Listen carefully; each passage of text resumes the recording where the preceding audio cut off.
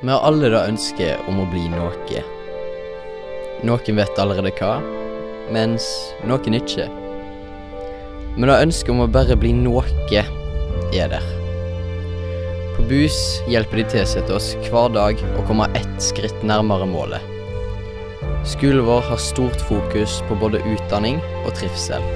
Vi har fått en ny og moderne skole med både svømmehall, musikkrom, bibliotek og naturfagsrom. Det er gode fellesareal både inne og ute, der man kan snakke og ha det kjekt med venner. Og sist, men ikke minst, store og gode klasserom. Med voksne som bryr seg om alle, skaper de et varmt og inkluderende skolemiljø. De tilsatte er kjekke folk som en fint kan slå av en samtale og le sammen med. De er utrolig flinke til å hjelpe oss å forstå og engasjere oss i skolearbeidet. Bremnes ungdomsskole gir oss både trivsel og meistring.